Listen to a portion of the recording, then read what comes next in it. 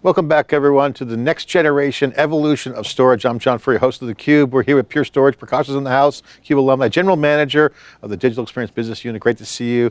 This is the seventh time on theCUBE. Welcome to coming into the studio. Thanks for coming in. Yeah, thanks for having me back. The title of this series is Next Generation Storage, the Evolution of Storage, but basically the waves are coming in. Generative AI, everyone sees that coming. Another tsunami of more data. It's not stopping. This is a key part of how companies are re-architecting user experiences are changing, the apps are changing, um, and cloud continues to grow, which means that the consumption, how people buy technology and consume services is right there. You're heading up a business unit that's doing the service for storage.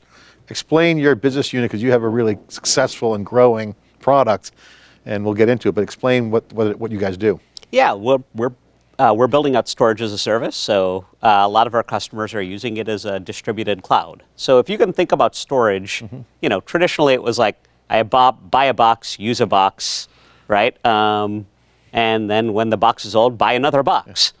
well, you know, there's a lot of inefficiency and waste that goes into that. So, you know, if we apply the cloud-like concepts to it, what if you could get yeah. the cloud wherever you're at? Because applications sit everywhere whether it's on premise mm-hmm. or in the public cloud. Um, and you should be able to get that cloud experience anywhere. So we deploy uh, a storage endpoint, the way we like to think about it. And so in a customer's data center, we would, yeah. they don't buy the gear.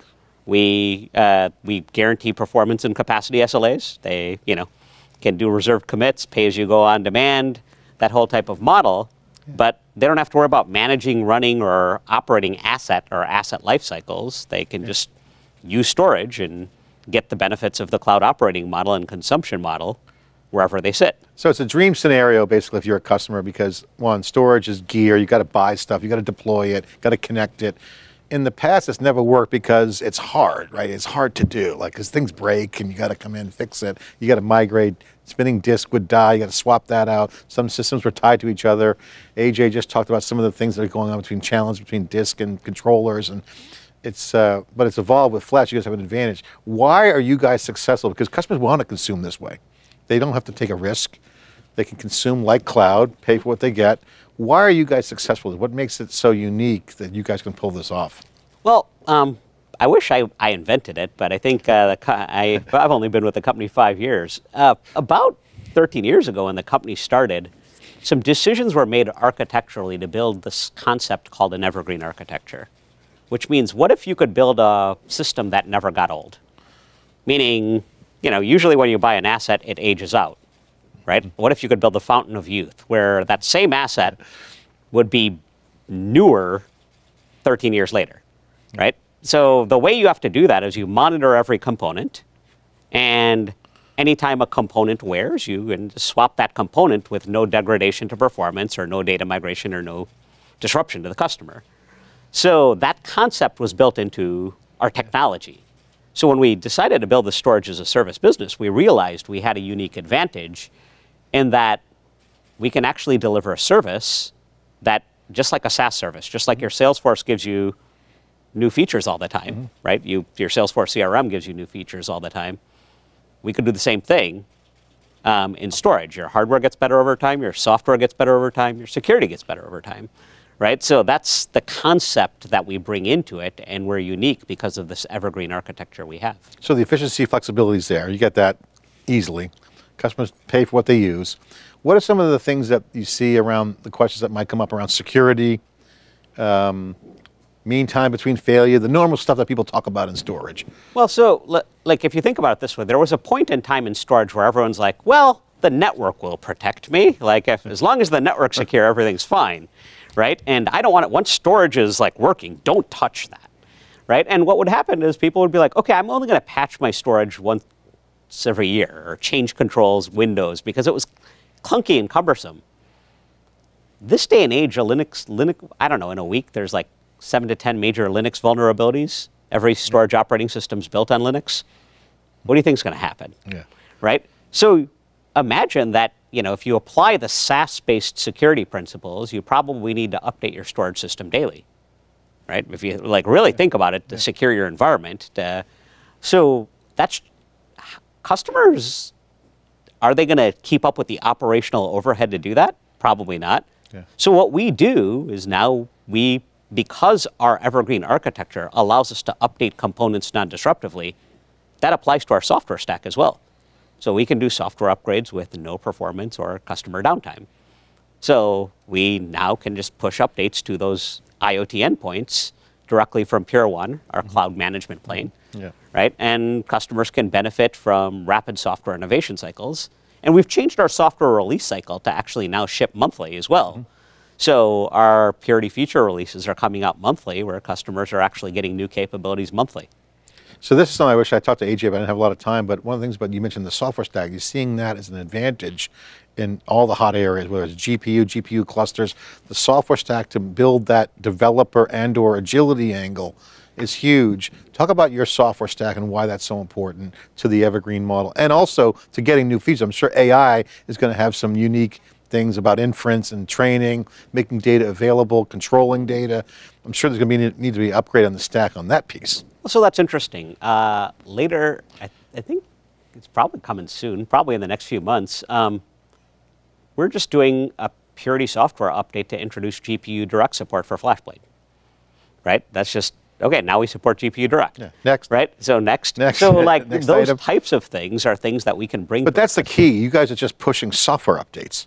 There's not a lot of hardware, or is there hardware, or is there swapping out notes? Well, so l- the good news is we build our hardware where our hardware life cycles typically with Evergreen have about a two to three year like generational life cycle, right? There's always this new memory, new DRAM, new NAND flash, et cetera, that has this kind of two to three year tick tock evolution.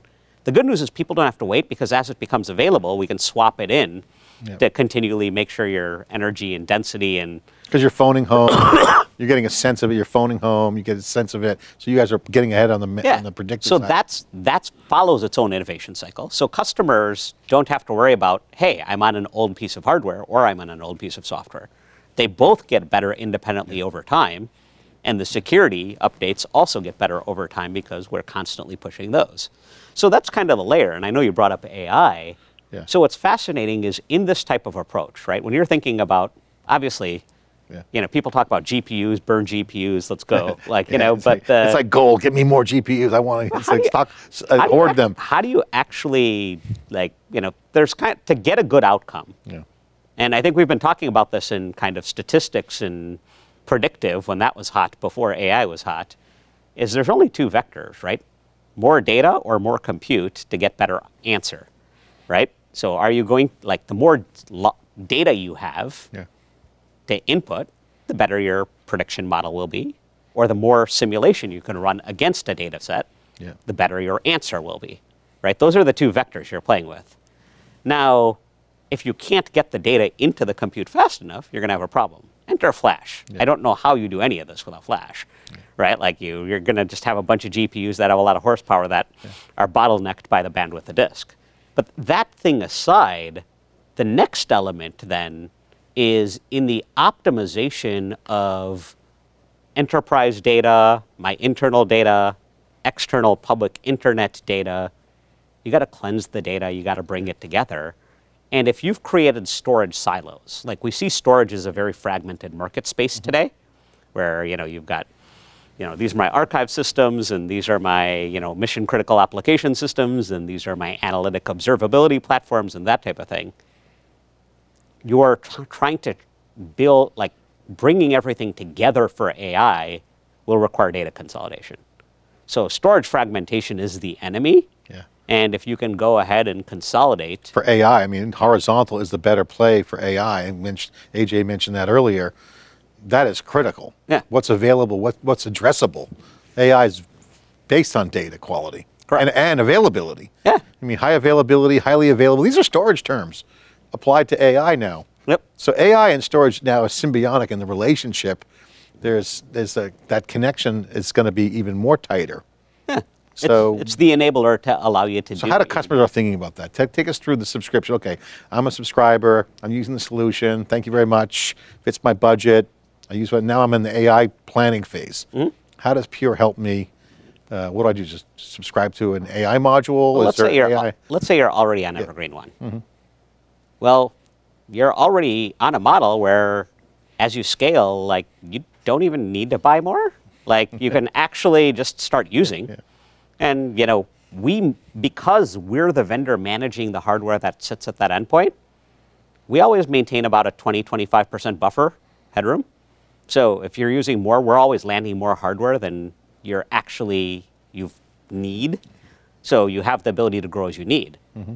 And in the consumption model, you'll have volatility, right? You might say, okay, I'm going to spike and do a big training thing where I'm, you know, going ahead and I need spike, and I'll just pay for on demand for that because that's not my steady run rate. In a mm-hmm. consumption model, you're not buying anything, you're not owning anything.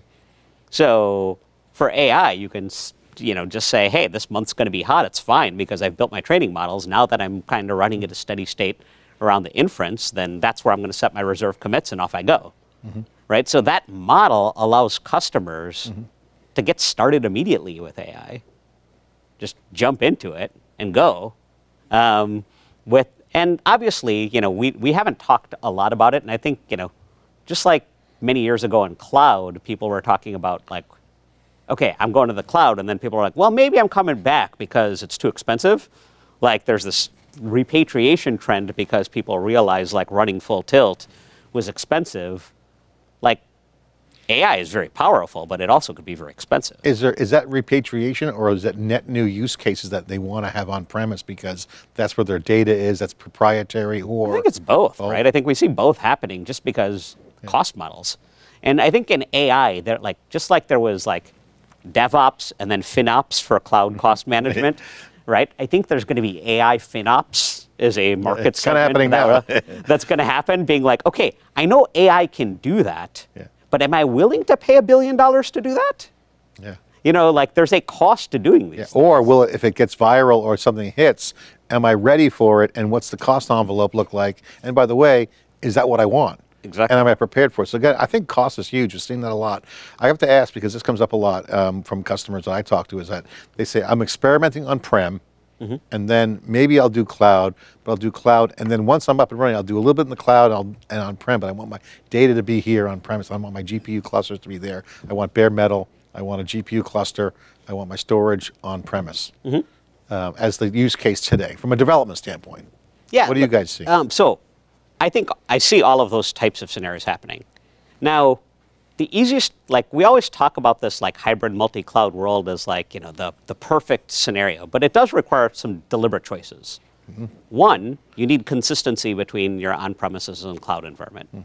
So we have that- operations and technology. operations and technology. And we have that now with our Cloud Block Store product. So you can run Cloud Block Store in the public cloud, you can run a FlashArray on prem, and we've even had uh, customers uh, that could run Cloud Block Store on AWS and Azure with Oracle running on one and Oracle running on the other active active.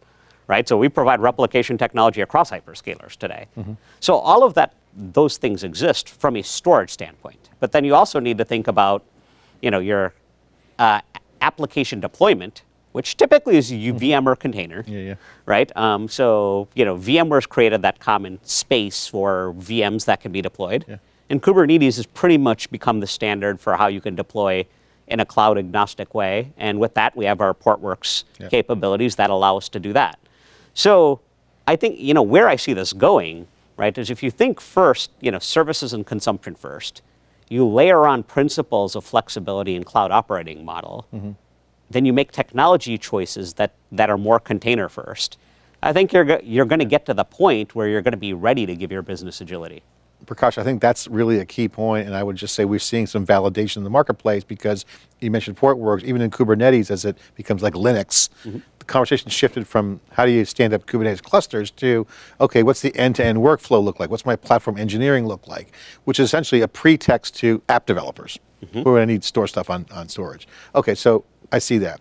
The question I have for you is, okay, we believe that to be true. Okay, so let's go to the next level. Pure has always been a product leadership company, good innovation, strategy, investment in R&D, good expertise in Flash. You mentioned all the evergreen stuff and all, of, and AJ did as well. Okay, great. But I want to subscribe to a platform now because remember, I've got platform engineering conversations happening. So assume best of breed is table stakes. Check, you guys done that. What's the product look like at a platform level? If I get this holistic view, uh, is there a subscription for that, or is it like a collection of subscriptions, or how does the customer motion look for you guys when they're thinking, okay, I'm going to start looking at my entire end-to-end process.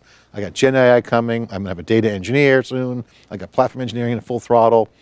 Kubernetes is now on, under the covers. I'm looking at pipelines, Yeah, look, cloud the- native services. the way, the way we think about everything is in storage, you care about performance, capacity, and availability, mm-hmm. right? And resiliency. We'll, we'll give you SLAs for all of the above. Meaning, what service level do you want? Right? So the platform is the service level at, at that point, right? So, uh, because should you really be worried about what hardware to deploy for the service level? No, you just need a service level. And we've instrumented that service level where customers actually have visibility to that SLA right in product. It's monitored and they do it. If we miss the SLA, there's a service credit built into the product. Two, um, we've enhanced those things. We have a zero data migration guarantee, so we're not even we're not going to bait and switch. Tell you like saying, okay, here's our new hardware platform that we did that doesn't qualify or whatever, right? Like we're not doing those things that a lot of traditional storage vendors do. Some like- guarantees aren't really guarantees. yeah, you know, oh, here, I'm going to take this old product, rebrand it as a new product so it doesn't apply as the, you know, under terms and conditions. We don't do any of that, right? So that's kind of the second thing. Third, because we're running these services within customers' data centers, not only are we giving you SLAs, whatever, you know, power and rack space we use, we actually pay for.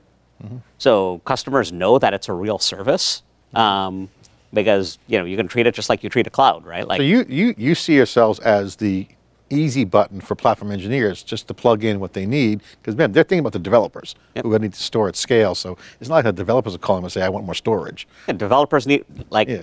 uh, you know de- previously developers needed to just provision they're like okay i just want to do things because money is no object Yeah. right i think that like it's I, I run an engineering team right now i have platform engineers and i have a It's a good experience to Uh, provide, but money is an object. But it- well but, so it's if funny it- i have this guy his name's vivi on our team and his title is devsecfin uh, test ops he's I- a kingdom builder. yeah, so he, so I was like, wait a minute. So why did we create a role called DevSec Fin Test Ops? Right, if I got that right, I think that's his title.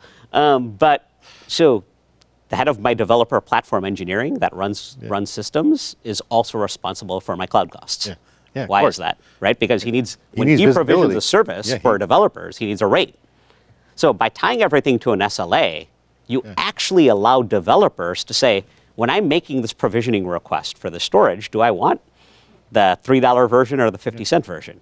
Right? And they can tie it to their SLAs for their applications. So it puts responsibility Yeah. of the outcome directly in control in the hands of developers. And I think that's the key to that money is free uh, quote was, you got at because like if the platform engineer does his job, it will seem like the developer has access to storage.